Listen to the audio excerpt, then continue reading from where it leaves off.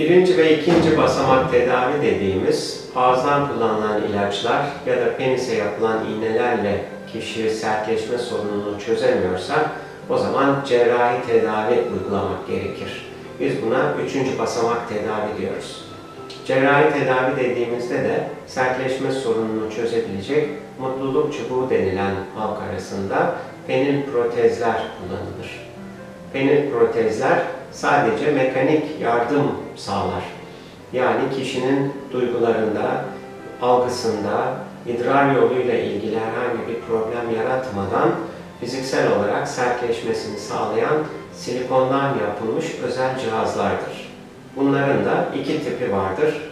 Bir bükülebilen ancak boyu kısalmayan, ikincisi ise şişirilebilen ve normal doğal görüntüye daha yakın olan penil protezlerdir.